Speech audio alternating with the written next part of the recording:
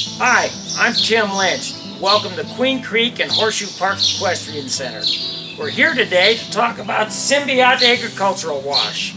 It's one of the most important new parts of our, of our maintenance program here at Horseshoe Park.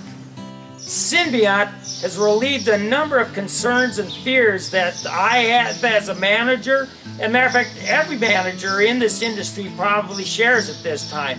Ever since the 2012 EHV1 epidemic that broke out of in Ogden, Utah and spread throughout the Mountain West, we've all had biosecurity on our mind.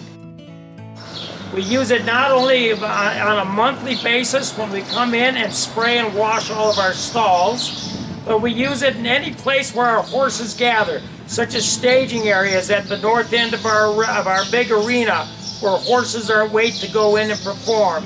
We, we try to hit any place like the, the wash racks, any place where horses are going to be in any kind of clustered number at all, or where horses will be spending any kind of time.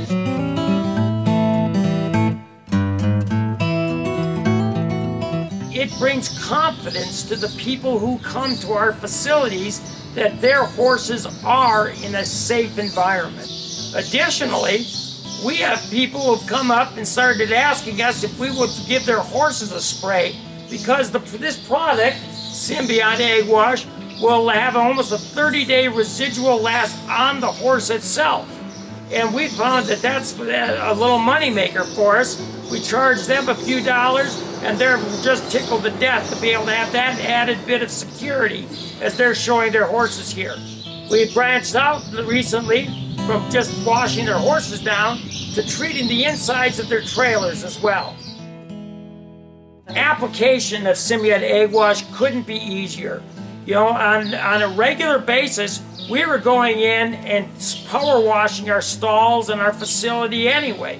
All we had to do now is add a small amount of the Synbiont concentrate into the power washer and go ahead and do our, our normal business. But Synbiont helps us reduce, if not eliminate, our worries on, on EHV1, E. coli, Salmonella, Staph, Listeria, and H1N1.